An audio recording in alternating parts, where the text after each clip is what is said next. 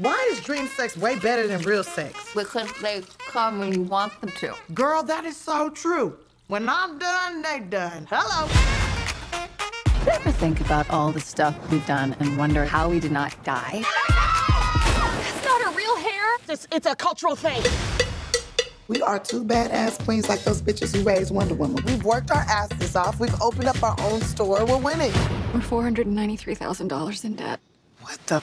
Walk into the room. Mel Paige and Mia Carter. I'm Claire Luna. I am going to invest $1.7 million on you.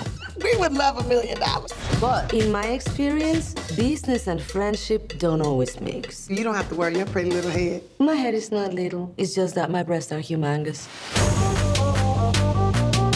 If you want to be a businesswoman, you're gonna have to act like a boss. You have to fire him. What? Don't hate me. Hate Mel. It was her idea. What? Listen to us. Hey, hey, witness my tragic moment.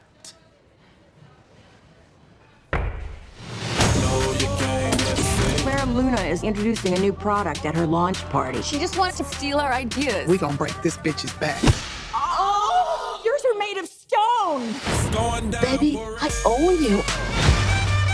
Y'all don't get Claire Luna down here right now. I'm gonna jump. She's crazy. She will. Oh, oh I'm so glad I be planking. I'm sorry, white lady, if I die on you today.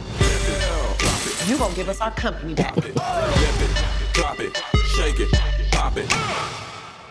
Flip it, drop it, shake it. Going down for real. I punched that bitch in the face. I would marry you if I was in the coochie.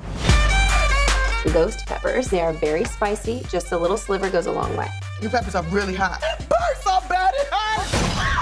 Hurts. Take some breath. It'll soak it all up. Oh, that's a lot of carbs. Here you go, honey. It's goat's milk, so to coat the throat. It's going down for real.